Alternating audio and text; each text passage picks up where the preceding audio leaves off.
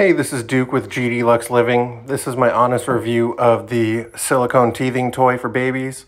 Uh, our baby loved to pick up the remote, whether it was for the TV or for a bed or anything like that. So we ordered these silicone teething toys.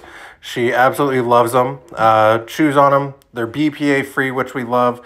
Safe for the baby. On the back side here, if you want to get fancy and their teething is really bad, you can fill these little compartments with water, freeze this up so it's nice and cooling on their gums. Um, and then it also has this tether that you can attach to their bib or their outfit. Uh, I would highly recommend this for anybody that has a baby that's teething or loves to grab the remote, change the channel on you, anything like that.